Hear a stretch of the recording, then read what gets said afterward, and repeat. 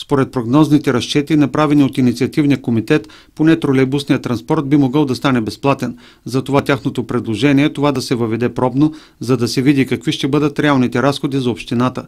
От инициативния комитет смята, че трябва да се намери начин да се защитят интересите на обществото, тъй като средствата идват от него. Бюджета за общински транспорт ЕАД в Русе за цялата година е 4 милиона лева.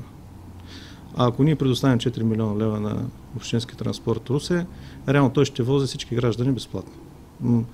И в тая връзка ние излизаме с предложение към председателя на Общинския съвет да вземе компромисно решение, което да удовлетвори и както нас гражданите, така и Общинската администрация, така и Общински съвет.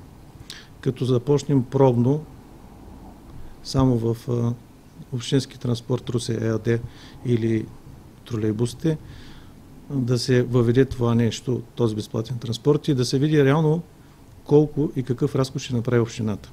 Тъй като всичко другото е прогноза. Както на общинска администрация, така и наша. Базирайки се на изказването на господин Пазарджиес и изказването на останалите общински съветници, независимо дали бяха за и против, всички от, от тях изказаха мнение, че това е много правилно и са за, но към момента няма финансова възможност.